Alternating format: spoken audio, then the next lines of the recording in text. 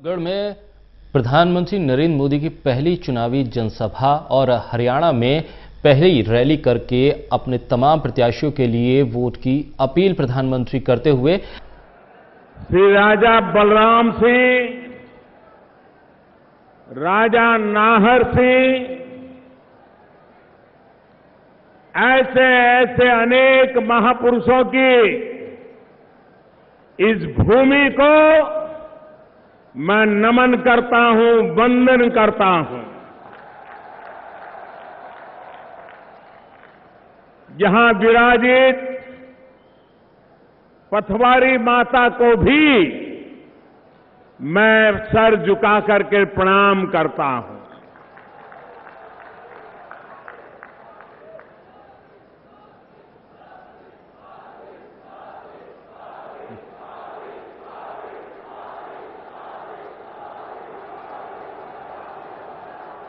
और यहाँ से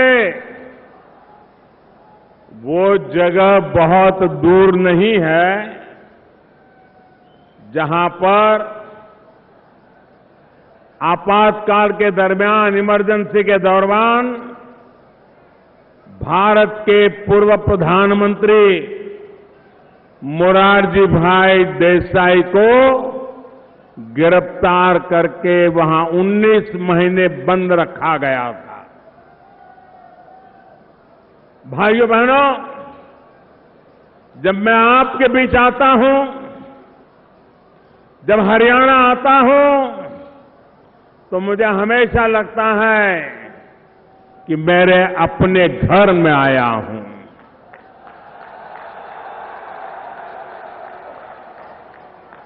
हरियाणा ने मुझे बहुत सिखाया है, और इसलिए जब भी मैं यहाँ आता हूँ तो एक अलग भावना मेरे भीतर उमड़ने लग जाती है। यहाँ का विकास, यहाँ के लोगों के जीवन में बदलाव, ये हमेशा हमेशा मेरी प्राथमिकता रही है। भाइयों और बहनों, मुझे याद है कि पाँच वर्ष पहले जब मैं हरियाणा में भाजपा सरकार बनाने की बात करता था तो हमारे सामने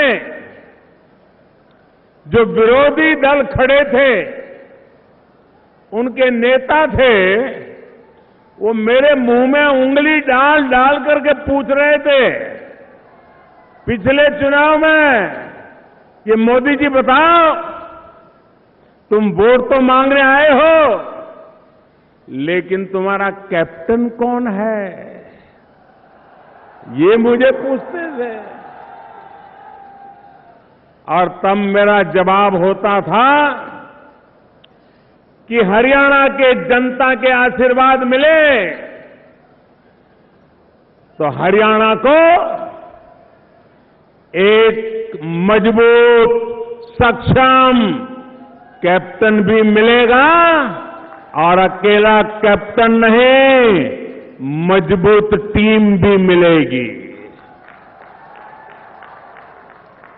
आज पाँच साल बाद कैप्टन भी पूरी बुलंदी के साथ आपके सामने है और मज़बूत टीम भी आपने देखी है। यही टीम है जिसने विकास के मामले में हरियाणा को अग्रणी रखा है, अव्वल रखा है। संयोग देखिए, जो तब मुझसे कैप्टन को लेकर सवाल करते थे, वो आज अपनी बिखरी टीम को ही समेटने के लिए एड़ी चोटी का ज़ोर लगा रहे हैं।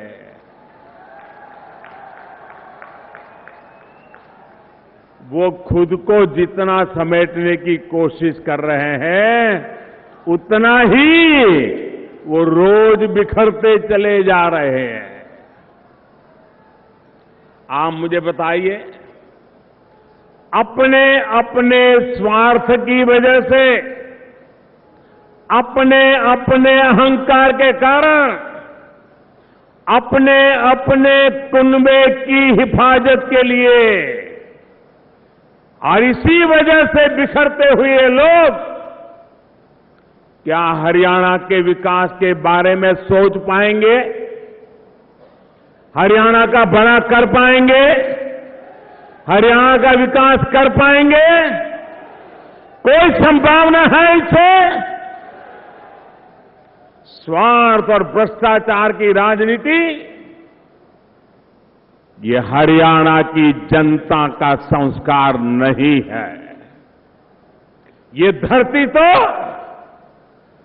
भारत माँ की जय बोलते हुए हाथ में तिरंगा के लिए जीने मरने का प्रण लेकर के चले हुए सीमा पर दुश्मनों के होश उड़ा देने वाले, ये वीरों की धरती है, बलिदानियों की धरती है, त्याग और तपस्वियों की धरती है। और ये धरती खेल की दुनिया में छा जाने वाले हमारे वीर बेटे बेटियों की धरती है।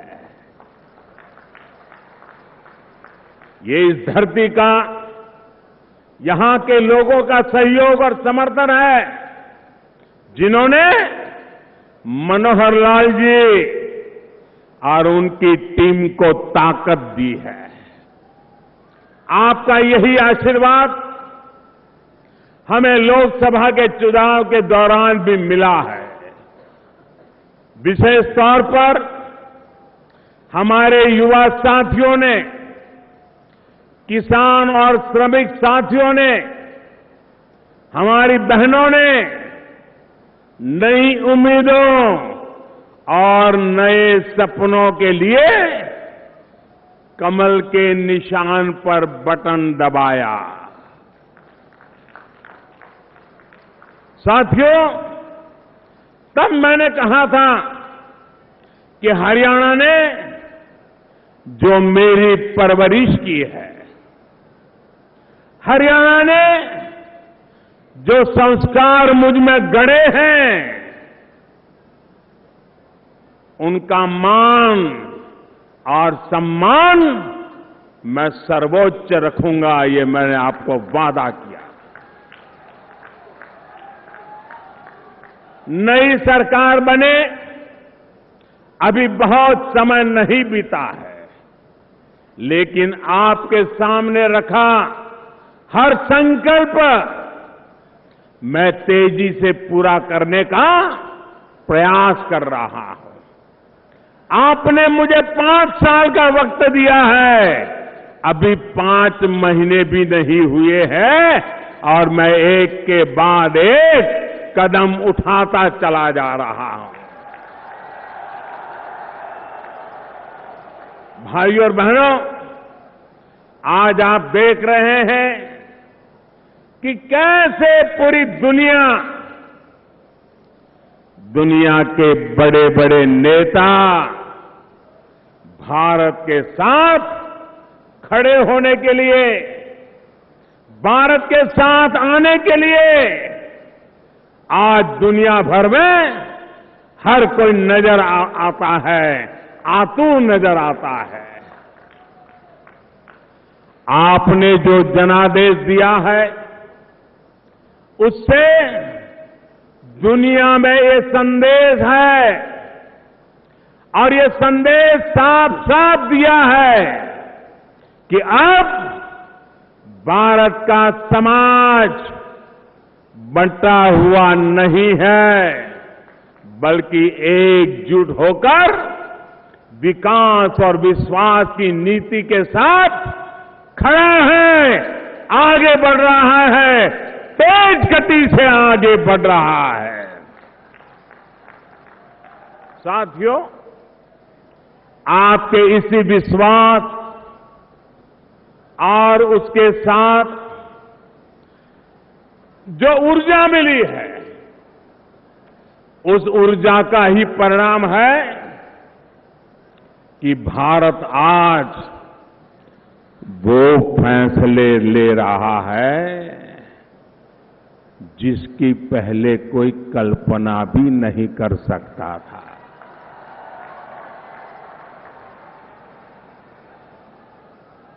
मैं किस फैसले की बात कर रहा हूँ? आपको पता है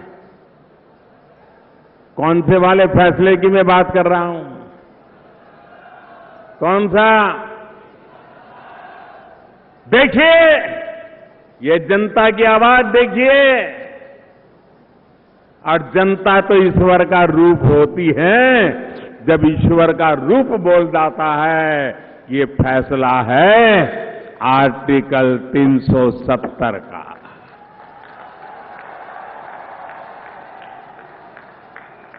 साथियों, ये हरियाणा की पूरे देश की भावना थी कि जम्मू कश्मीर के अलगाव अहिंसा से निकालकर सद्भाव और सशक्तिकरण की तरफ़ ले जाया जाए। आज जम्मू कश्मीर और लद्दाख विकास और विश्वास के एक नए रास्ते पर चल पड़ा है। और इसका श्रेय इसका श्रेय किसको जाता है? इसका श्रेय किसको जाता है? किसको जाता है? किसको जाता है? किसको जाता है? मोदी को नहीं जाता है। ये वल्लभगढ़ के लोग फेल हो गए। इसका श्रेय आप 130 करोड़ देशवासियों को जाता है, हिंदुस्तान के मतदाताओं को जाता है कि आपने कमल पे बटन दबाया और मुझे ये ताकत मिली है आपके सपने पूरे करने की।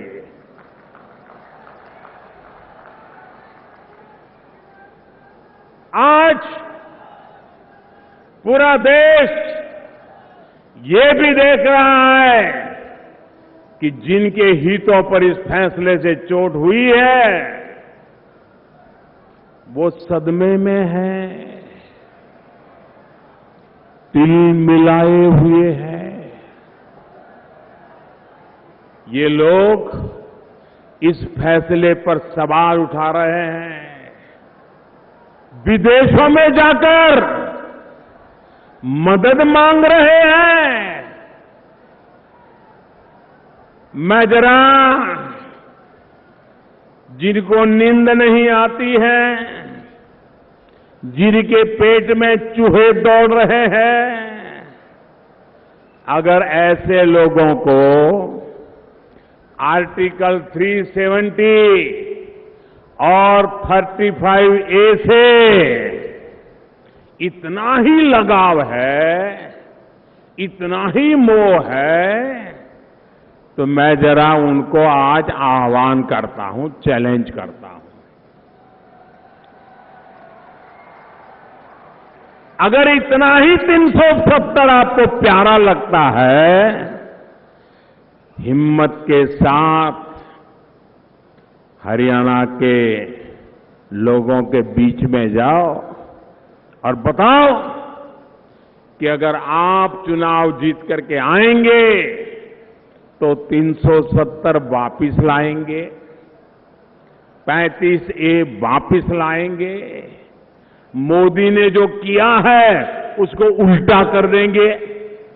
लोकसभा के चुनाव आए, तब तक मैनिफेस्टो में लिखो कि हम अगर आए तो 370 वापिस लाएँगे। ये है किसी में ताकत ये करने की। तो ये गड़ियाली आँसू बहा रहे हैं कि नहीं बहा रहे हैं? ये झूठी बातें बोल रहे हैं कि नहीं बोल रहे हैं? उनको भी पता है, आर्टिकल 370 के जनता जनार्दन का इतना प्यार इतना उमंग और उत्साह मिला है कि मोदी आर्टिकल 370 और 35 ए का निर्णय कर पाया है। आर्टिकल 370 के समर्थकों को मैं कहना चाहता हूँ कि वो हरियाणा के गाँव गाँव में जाकर इसके फ़ायदे जरा लोगों को समझाएँ। और मैं उनसे कहना चाहता हूँ, जिन माताओं ने अपने वीर खोए हैं, कश्मीर की धरती पर घर में जवान पत्नी छोटे छोटे बच्चे, उनसे विदाई लेकर के जो मेरा वीर जवान हरियाणा का नवयुवान जम्मू कश्मीर की रक्षा कर रहा था, वहाँ के निर्दोष नागरिकों की रक्षा कर रहा था, जिसको आतंकियों ने गोलियों से भून दिया और जो शरीर तिरंगे में लिपेट करके वापस लौटा था, उन माताओं को पूछो कि तुम्हारा 370 के प्यार ने कितने माताओं के बेटों को रौन डाला है। कितनी बहनों को विधवा कर दिया है। भाइयों, बहनों, जिन्होंने जम्मू कश्मीर में शांति के लिए अपनों को खोया है, उनको कांग्रेस के नेता बताएँ कि आर्टिकल 370 से उनको इतना मोह क्यों है? कांग्रेस के नेताओं को, हरियाणा की बेटियों को यहाँ के दलितों को भी जरा जाकर के बताना चाहिए कि जम्मू कश्मीर में 370 ने वहाँ कैसे इन वर्गों का हित किया है। मैं जरा यहाँ के नेताओं को पूछना चाहता हूँ। आज वोट लेने के लिए वाल्मीकि जयंती के नाम पर, वाल्मीकि के नाम पर भांति भांति के झूठ फैला रहे हैं। अरे आज़ादी के सत्तर साल हो गए। बनारस, जहाँ से मैं लोकसभा का सदस्य जनता ने मुझे चुन करके भेजा है, बनारस की जनता ने मुझे भरपूर प्यार दिया है। संत रविदास की भूमि है। इतने इतने उत्तर प्रदेश से प्रधानमंत्री बन के गए। हर दल से नेता चुन करके आए। क्या कारण था? इतने बड़े महापुरुष संत रविदास, उनकी स्थान का भव्य निर्माण क्यों नहीं किया? ये मोदी आया है। आज बनारस में संत रविदास का ऐतिहासिक स्मारक बन रहा है। तीर्थ क्षेत्र बन रहा है। और ये मेरा सौभाग्य है कि वहाँ के समाज के नेताओं ने मुझे उसके भूमि पूजन करने का सौभाग्य दिया था। मैं जरा ये लोगों की आँख आँख में धूल झोंकने वाले नेताओं से पूछना चाहता हूँ। दलितों को गुमराह करने वालों को पूछना चाहता हूँ। वाल्मीकि समाज को उकसाने के लिए झूठ का सहारा लेने वालों से मैं पूछना चाहता हूँ कि जम्मू कश्मीर की धरती पर मेरे जो वाल्मीकि भाई बहन रहते थे, अगर उनका बेटा ग्रेजुएट हो जाए, डबल ग्रेजुएट हो जाए, इंजीनियर हो जाए, लेकिन वाल्मीकि परिवार के बेटों को जम्मू कश्मीर सरकार में उसके हक की नौकरी भी नहीं दी जाती थी। और कारण क्या था? कारण 370 था 35 ए था, और उसके कारण जम्मू कश्मीर की धरती पर वाल्मीकि समाज की चार चार पीढ़ी कितनी ही पढ़ाई क्यों न की हो झाड़ू लगाना, टॉयलेट साफ़ करना, इसके सिवाय वहाँ की सरकार ने कोई की भी काम देने के लिए उन्हें योग्य नहीं माना।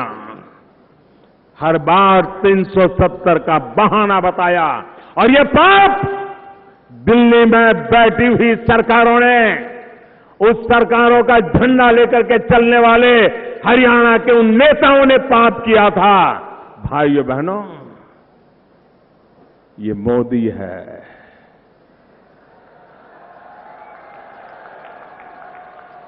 जिसने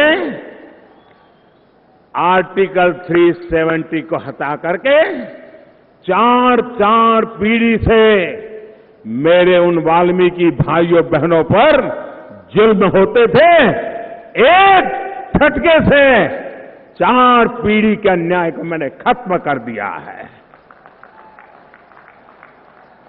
साथियों, कांग्रेस और उसके जैसे दल ये नहीं कर सकते। क्योंकि ये जो मगर के आँसू गड़ियाली आँसू बहा रहे हैं, वो सिर्फ़ सतही हैं। ये वोट बैंक की राजनीति को ज़िंदा रखने का उनका विफल प्रयास है। सिर्फ़ विरोध के लिए विरोध इनकी आदत बन चुकी है। यही उनकी परंपरा है, यही उनकी आदत है, यही उनके तरीके हैं। आप याद कीजिए रफाल लड़ाकू विमान को लेकर इन्होंने लोकसभा के चुनाव के दौरान कैसी होई तोबा बचाई थी? छाती पीट रहे थे, छाती।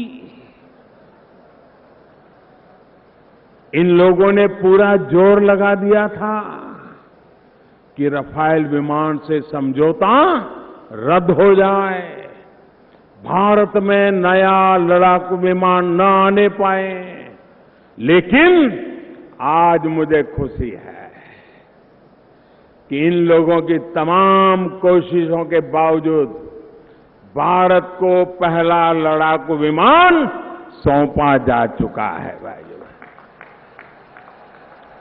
भाई और बहनों, ये कितना भी विरोध करें, कितनी ही साजिशें करें, राष्ट्रीय सुरक्षा के लिए, सेना के सशक्तिकरण के लिए, भारतीय जनता पार्टी प्रतिबद्ध है और हम उसे लगातार गति भी दे रहे हैं। मुझे कोई हक नहीं है कि हरियाणा का मेरा वीर जवान, हरियाणा की वीर माताओं का बेटा, हिंदुस्तान की वीर माताओं का बेटा, जो देश की रक्षा के लिए लड़ रहा है, वो बारूद और हथियार के बिना दुश्मनों के शिकार हो जाए, ये मोदी को मंजूर नहीं है, दोस्तों। हमारे अपने तेजस लड़ाको इन विमान को, इन लोगों ने डिम्बे में बंद करने की तैयारी कर ली थी। पता नहीं किसका दबाव था। हमारी सरकार ने सारी रुकावटों को दूर करके तेजस की उड़ान को नए पंख लगाए। आज तेजस भारतीय वायुसेना की शान बन रहा है। साथियों, आधुनिक विमानों और हेलीकॉप्टर से लेकर नए मिसाइल डिफेंस सिस्टम तक, समंदर में नई ताकतों से लेकर अंतरिक्ष में नई मिसाइलों तक बुलेट प्रूफ जैकेट से लेकर गोलियाँ और गोला बारूद तक हम हर स्तर पर काम कर रहे हैं। अपनी सेनाओं के साथ ही अपने वीर बेटे बेटियों को हम मज़बूत कर रहे हैं। देश के जिन वीर सपूतों के हाथ पहले की सरकारों ने उनके जो हाथ बाँध रखे थे, उन्हें भाजपा सरकार ने खुली छूट दे दी है। आपके तो हर गाँव में जवान है, वो बताते होंगे। मोदी ने कह दिया है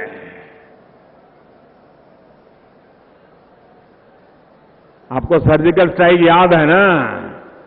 याद है ना? अरे बालाकोट का याद कीजिए। कैसे आतंकियों को घर में घुस करके मारा? याद है ना? भाई और बहनों, कांग्रेस और उसके जैसे दलों की करनी कैसी रही है? इसका जीता जागता सबूत रहा है। वन रैंक वन पेंशन ये लोग आपसे झूठ बोलते रहे, लेकिन वन रैंक वन पेंशन लागू नहीं किया। आज न ये सिर्फ़ सच्चाई है, बल्कि हरियाणा के भी करीब करीब दो लाख पूर्व फौजियों को इसका लाभ मिल चुका है। अब तक उन्हें अकेले हरियाणा में 900 करोड़ रुपए से ज़्यादा का एरिया उनके यहाँ जमा हो चुका है।